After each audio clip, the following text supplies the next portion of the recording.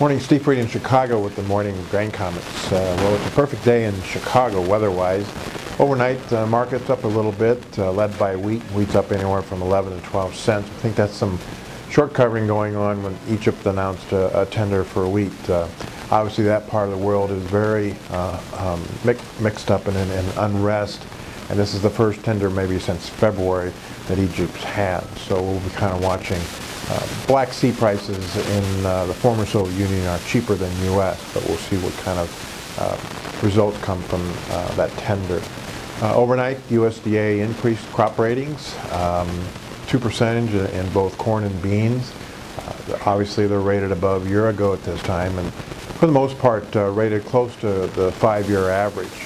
The weather over the next two weeks looks to be a mixture of maybe normal temps and normal precip, except maybe in the southwest corner of the Midwest where it could be drier than normal. Uh, some feel that over the next two weeks you could see a, a continued increase in overall crop ratings. Uh, from a weather standpoint, uh, two weeks look good. Um, obviously going into the 4th of July weekend, historically that's been a pretty volatile um, time for the market. Good weather, prices go lower.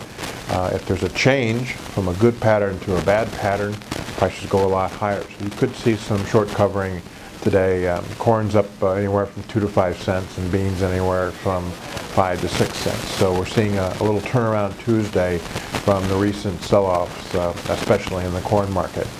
Overall, um, we expect a weather market from here out for the next two weeks, so we're watching pretty close, which uh, could add to the volatility in the marketplace. Without a change in the weather, there's really no need for new crop corn, beans, wheat uh, to rally from these current levels, and the trend could be lower uh, if the weather is, is good. We shut down tomorrow here at the grain markets at noon, and then uh, we don't reopen until um, Friday morning at 8.30 a.m. So hopefully you have a safe and uh, good 4th of July holiday. As always, these are my thoughts, not those of ADM or ADM Investor Services, and have a safe and profitable trading day.